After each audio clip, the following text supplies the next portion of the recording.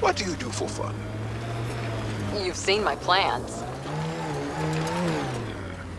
I'm beginning to suspect that the Angaran word for fun doesn't translate well.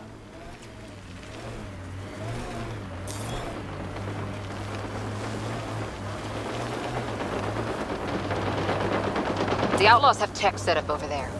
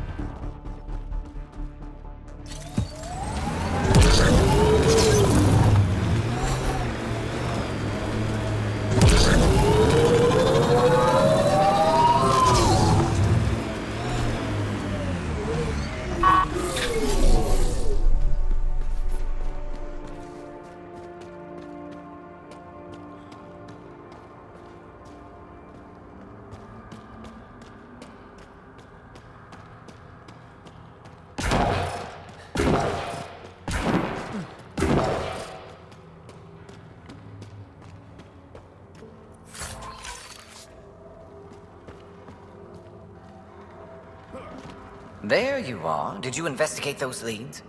I learned you're a Ket collaborator and a murderer. Who's one victim short? So it's true. Old spies really do live forever. This old spy would punch you if he wasn't carrying evidence in his chest. I tried to give you a decent burial, Major. There was no time to convince you of our cause. Save it, Aden. You betrayed your people. You'll never see daylight again. My people agreed to this. Several of us woke early, prepped the Ark, and then we found the Ket, an unstoppable enemy. So we made a pact.